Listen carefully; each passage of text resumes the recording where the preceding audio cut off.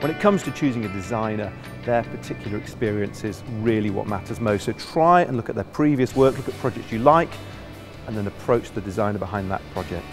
Go for flair and imagination. Look at what they've done before. Talk to their previous clients. Flair and imagination are probably more important than qualifications in many cases.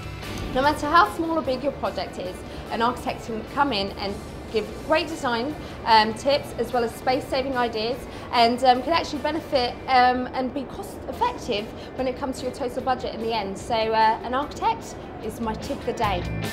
If you're building an eco house, you need an architect that's done it before. Ask for references, take up those references, go and look at those projects and make sure that the architect did those projects in a way that satisfies you. Make sure that they're suitable for you, that they're suitable for one-off housing and one-off clients like, like the self-builder. If they've been doing schools up to now, then they're probably not going to be suitable. Make sure that they're up to speed with the latest planning changes and the latest building regs changes and that they know what's up and coming on both of those issues. You need to find someone that you're compatible with. A self-build project is a long project. You're going to have to work with this person fairly closely for perhaps two years. Make sure you can get on with them. Make sure there's empathy.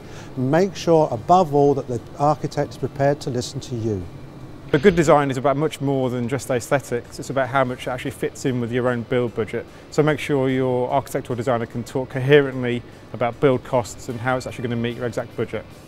Particularly with an older building, make sure that your architect understands the cost implications of what they might be suggesting and also the fact that they may discover things along the way that add to the cost and have they got contingencies to deal with that. Check that your designer has got adequate professional indemnity insurance. That way you're covered if the design has gone wrong. The most important thing with all plans from architects and designers is that their plans are drawn clearly and precisely with no ambiguity at all.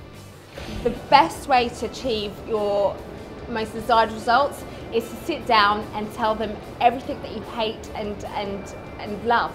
Um, and they will sit down and understand all your the pros and cons of how to make a space work for you. Um, so again, uh, talking and communication with your architect will get the best results good design really is worth spending money on. You can design your own extension or renovation scheme or your own house from scratch, there's no law against it. But good design will end up with a project that's worth more, which will be cheaper and quicker to build.